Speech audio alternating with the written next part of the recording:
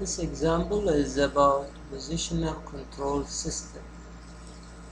This is the model the system and the differential equation describing this model is given by the following d square x over dt plus alpha dx over dt plus 16x equal to 8 vt where this is the motor input voltage Vt and x is the position of the damper. There are three things asked here. What value of alpha that will produce critical damping? Second is find the plant transfer function.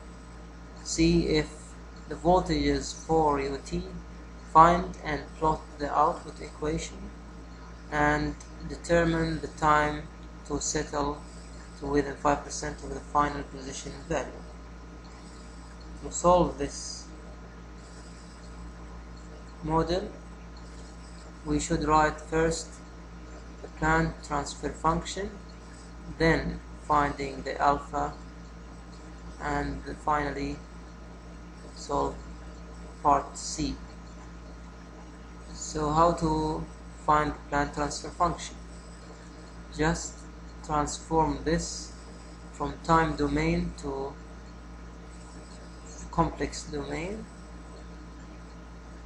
s square x of s plus alpha x of s plus 16 x equal to 8 vs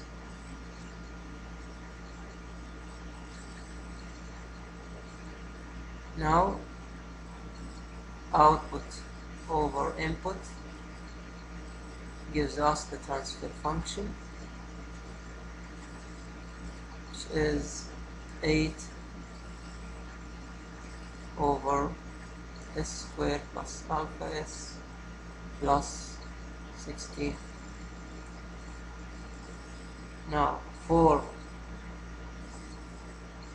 Part A, what value of alpha that will produce critical damping? In critically damping case, zeta equal to 1, where this is equivalent to a second order system, omega square, s square plus 2 zeta omega n plus omega n square.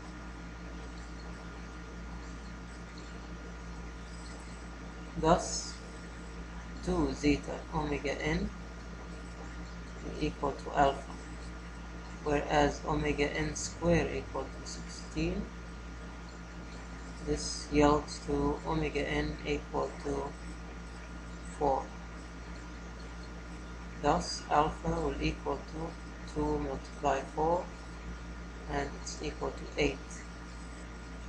And this is obvious because in critically damped case we have a repeated pole poles repeated poles with real number real and repeated poles 8 over s plus 4 whole square because transfer function is equal to 8 over s squared plus 8s plus 60. Now for part C, if V of t, the voltage applied to the motor is 4 unit step volt then v of s equal to 4 over s in the s domain.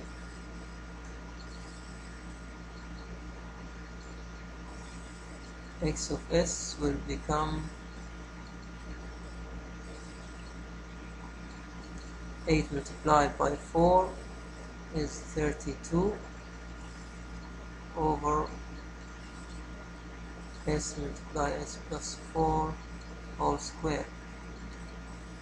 Now to find and plot the output equation we should make this equation in time domain thus a over s plus remember here is or note here is a repeated pole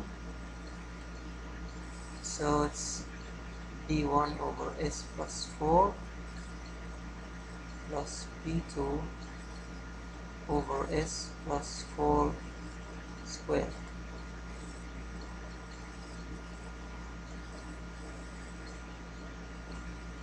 A will equal to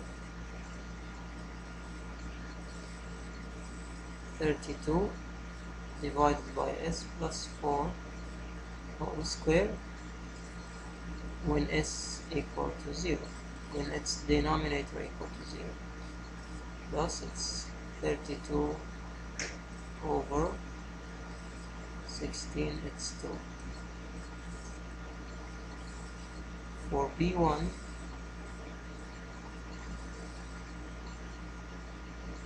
remember the equation that state that it's 1 over 2 minus 1 factorial the second or the first derivative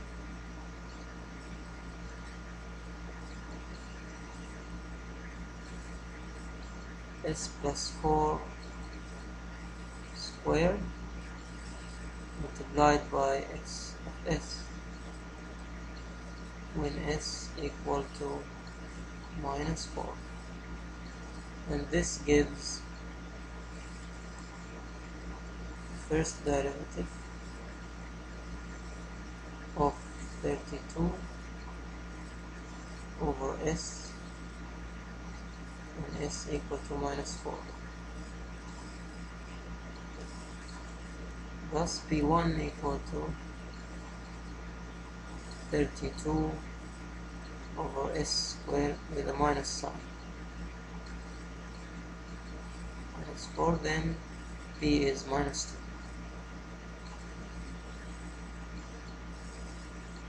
this is p1 for p2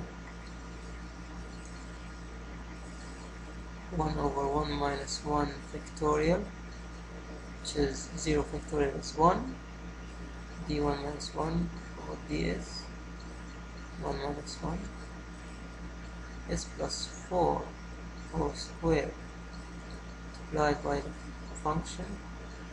Multiplied by the output in this domain whereas s is equal to minus 4 and this gives us 32 over s.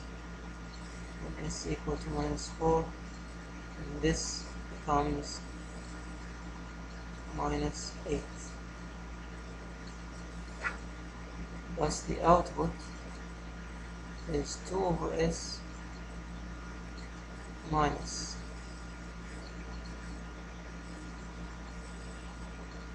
minus 2 over s plus 4 minus 8 over s plus 4 whole square.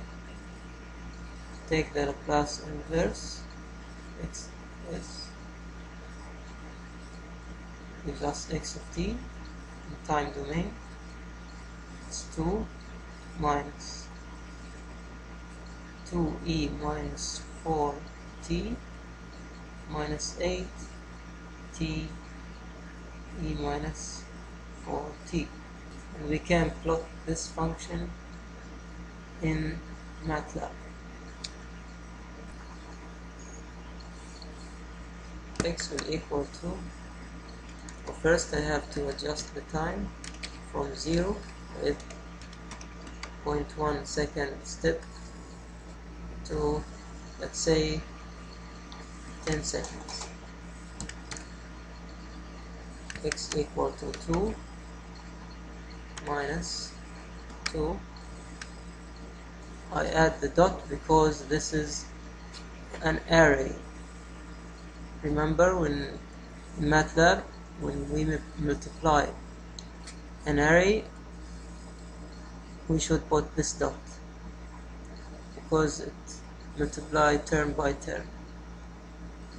Multiplied by exponential of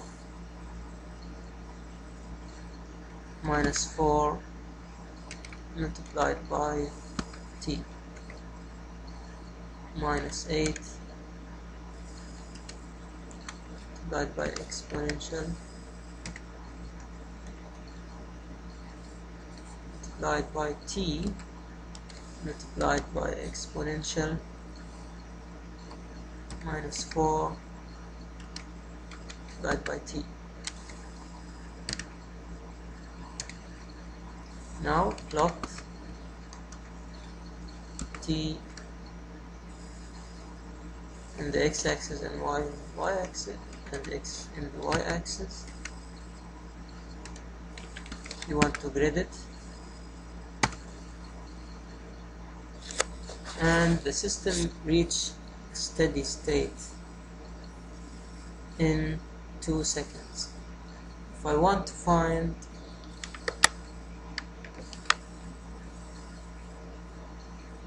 the settling time of this equation I should write it in an M file. Let's say x equal to transfer function.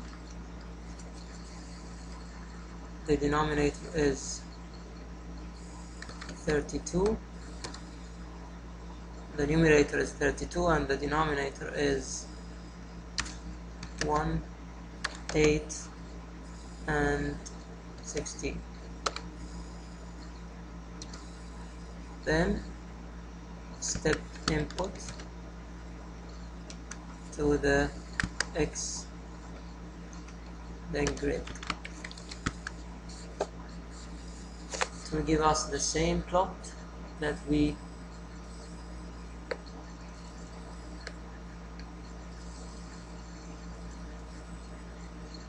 see. It's the same plot. In two seconds the, the system reach steady state value with no with an error of 2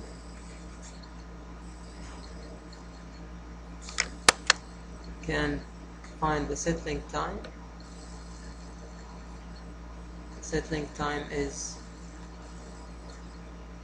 1 point almost 4 5 something like that. 4 6 yeah